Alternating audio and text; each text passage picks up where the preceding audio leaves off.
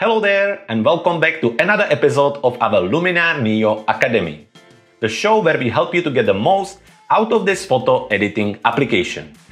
Now, if you've never been here before, my name is Jakub Bors, and I'm a creator and founder here at Clever Photographer. Now, before we're going to start, I have a few things I want to cover. First of all, at the end of the video, I'm gonna give you access to our popular Luminar Neo shortcut cheat sheet. Finally, I would like to ask you to please like, comment and share on this video. And also don't forget to subscribe to our channel so we can keep creating content like this.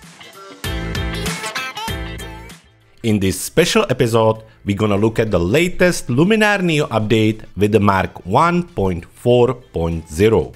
As always, in the first part of this video, we're gonna look at the list of the updates, then I'm gonna show you how to make sure that you're using the latest version and if you're not, how to install it. And finally at the end we're gonna jump into the actual application and I will show you how to use and where to find all the new updates and features. Starting with the list of the updates, Skylum just released the new update Mark 1.4.0. Now, Luminar artists can use the long anticipated clone tool in their editing. Extensions are also improving. The HDR merge extension now gives result with reduced chromatic aberrations. Update 1.4.0 brings plenty of minor improvements to Luminar Neo's usability, including a convenient selection preview on hover in the catalog, and new look for headers in Catalog, Presets and Edits tab. There is also a useful grid in the lens distortion slider in the Optics tool. Plus, you will be able to enjoy a support for new cameras including Olympus, Panasonic and Canon brands. Of course, there are some bugs fixed as well, and if you want to see the full list of the updates, as always, head to the Skylum website skylum.com slash what's new slash luminar neo. Now before we going to continue, I wanna quickly tell you about our brand new Luminar Neo Autumn Bundle. For a special price, you will get over 721 new autumn elements to power up your Luminar Neo tools.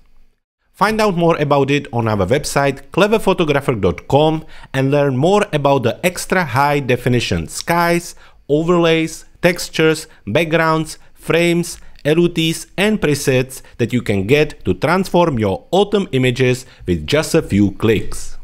If you want to learn more about this bundle, make sure you follow the link in the description or once again visit our website cleverphotographer.com. Now it's time to make sure that you're using the latest version of Luminar Neo and if you don't, I will show you how to install it. So what we're gonna do, first of all, if you just switch on Luminar Neo, you may be already prompt with the update message.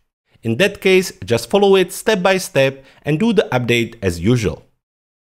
If you haven't been prompted with a message, navigate to the top left corner of your screen and click on the Luminar Neo logo. Here click on About Luminar Neo that will open a new window and just like me, you should see the update or the version 1.4.0. If that's not the case, we need to install the new update.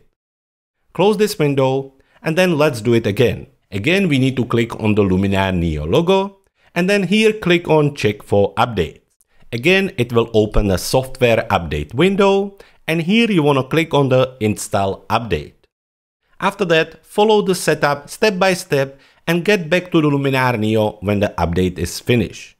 Depending on your internet connection, it may take a little while as it is usually around 4 GB big. When you back in Luminar Neo, you can again double check that you are on the right version by going into the Luminar Neo, clicking on About Luminar Neo and double checking the version of your application here. And finally, it's time to look at the new updates and features here in Luminar Neo. As you can see, I'm starting in a catalog module where I have three files ready to be merged with the use of HDR merge extension. Now let's select them, one, two, and three. And when I drag and drop them on the extension here in our toolbar, I can now go into the settings of the extension. Inside, compared to the before, we now have the new option called Chromatic Aberration Reduction. When you turn it on, it removes purple or green fringe along the edge of your photo. So this is really handy as it can help to improve the quality of your image. Once you're done with the setting, you can click anywhere else and then just use the merge button to merge the images together. So that's the update for the HDR merge extension. Now looking at the application, you can see that our buttons on the top of the screen change the design. However, it's still the same catalog, presets and edit. So let's select this image and go into the edit module. In the edit module, we're gonna start by looking at the develop or develop raw tool here in the essential section of our main toolbar. So let's click on it to open it. And here we're gonna be focusing on our optics all the way at the bottom. We have optics and transform. Now, if I haven't mentioned it before, now the transform has a new option where you can auto align your image. So make sure you check that out. However, as a part of this update, we now have this new grid which appears when you hover over the lens distortion slider. You can use it when you're adjusting the distortion manually by using the optics section of the develop tool. Once we close it, it will disappear and now finally, let's focus on the most important part of this update, and that's the clone tool. It's located in a professional section of our main toolbar, all the way at the bottom. You simply click on it to open it, and now we can start to use it. When you open the tool, you will be prompted with the message, click to set the source. To do that, simply click somewhere on this little cloud, and now I can very simply start to paint the same cloud on the image. Now wherever I'm painting, you can see that it's basically copying and pasting the part of the cloud into our image. Now this is very simple demonstration as we're gonna have a full tutorial on how to use this tool coming on our channel very soon. Coming back to our tool, you can see that we can adjust the size, softness and strength of our brush. And also, if you want to reset the reference point of your clone tool, simply use Option or Alt on your keyboard. That will then adjust the style of your mouse and you can now move around and adjust the reference points again. So let's say I'm gonna place it here, so I click. And now I can start to use the brush again and paint the cloud somewhere here using the reference point of this cloud down here.